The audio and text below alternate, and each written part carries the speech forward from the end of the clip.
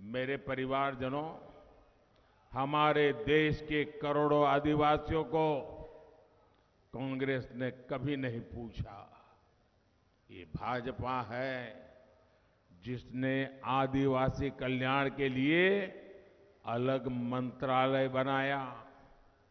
ये भाजपा है जिसने आदिवासी कल्याण का बजट भी कई गुना बढ़ा दिया। कांग्रेस के समय में आठ या दस, वन उपज, उस पर ही एमएसपी मिला करती थी। भाजपा सरकार में अब करीब करीब 90 वन उपजों पर एमएसपी मिला करती है।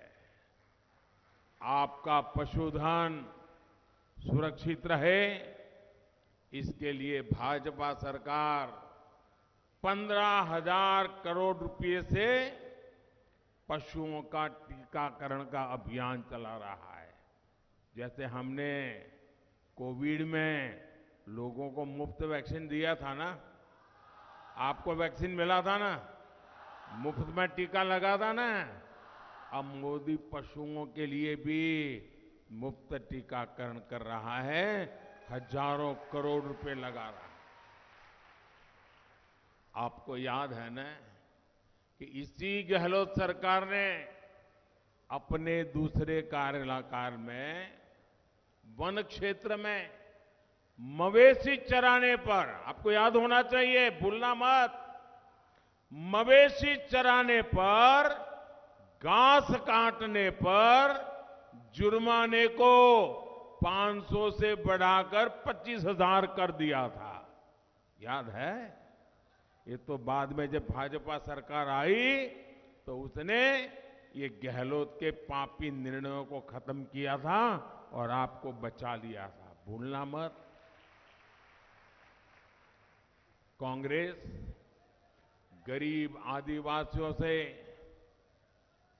पुराने जमाने के अंग्रेज़ जैसे दिमाग रखते थे ना, वैसे ही जो हम अंग्रेज़ जैसे हिंदुस्तान के लोगों को गुलाम मानते थे ना, आज़ादी के बाद भी कांग्रेस आदिवासियों के साथ वैसा ही व्यवहार करती है। सहज, सच्चे और वफादार मेरे आदिवासी भाई बहनों के स्वाभिमान को कांग्रेस ने हमेशा चोट पहुंचाई है। हमें आदिवासी भाई बहनों के, उनके सम्मान, उनकी शिक्षा और स्वास्थ्य की चिंता है। इसलिए डूंगरपुर में केंद्रीय सहायता से मेडिकल कॉलेज खोला गया है।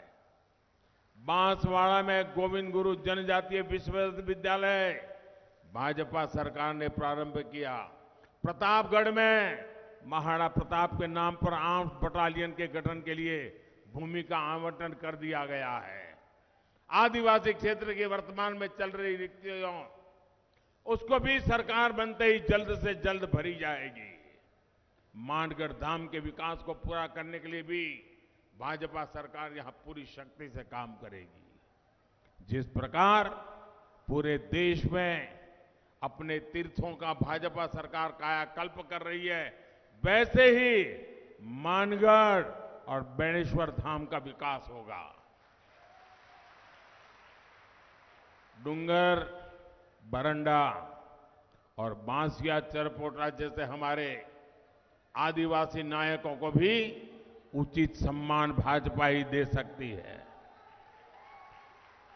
साथियों, कांग्रेस कभी अपने एक परिवार के आगे किसी को नहीं देखती।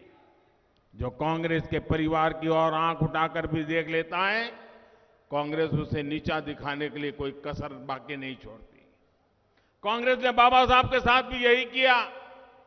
कांग्रेस ने सरदार पटेल को भी इसी तरह अपमानित किया।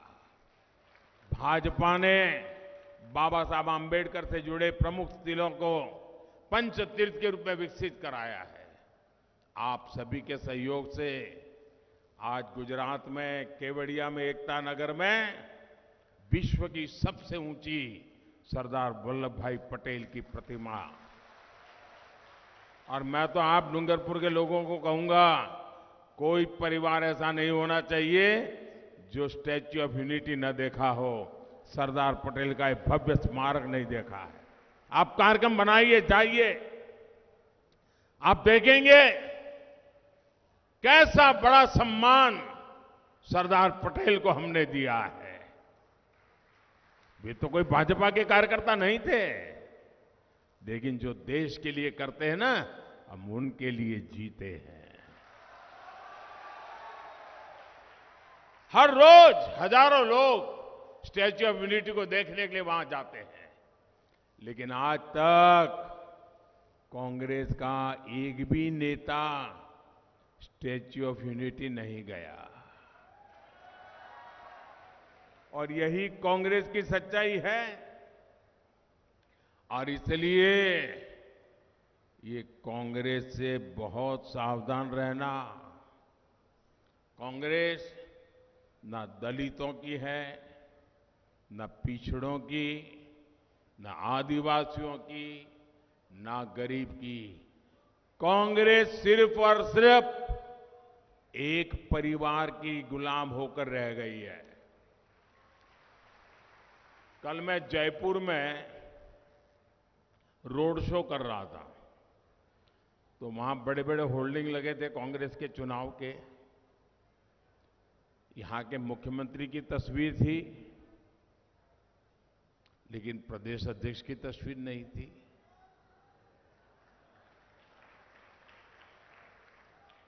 उसमें कांग्रेस के एक एमपी की तस्वीर थी, लेकिन कांग्रेस के अध्यक्ष जो दलित है और 40-50 साल का संसदीय जीवन का अनुभव है कांग्रेस में सबसे सीनियर कुंबे में से एक है। उनकी फ़ोटो नज़र नहीं आ रही है। कांग्रेस में दलितों के साथ क्या होता है? ये आप जयपुर में जाकर के मैंने तो कल देखा, मैं तो चौंक गया। अरे भाई, कम से कम इतने बड़े दलित नेता है खरगे जी, उनकी एक फ़ोटो लगा देते तो तुम्हारी नौकरी नहीं चली जाती। लेकिन सिर्फ़ एक परिवार की भक्ति, सिर्फ़ एक परिवार की भक्ति। कुछ दिन पहले ही आदिवासी समाज के लिए पीएम जनजाति, आदिवासी न्याय, सामाजिक न्याय तो हमने बहुत सुना है। मोदी ने उससे भी आगे बढ़कर के आदिवासी न्याय महाअभियान आदिवासी समाज को न्याय मिले। आदिवासी समाज में सबसे आखिरी हैं उनको न्याय मिले, इसलिए पीएम जनजाति आदिवासी न्याय महाअभियान शुरू किया गया है। चौबीस हज़ार करोड़ रुपए की योजना आदिवासी समाज का जीवन बदलने वाली है।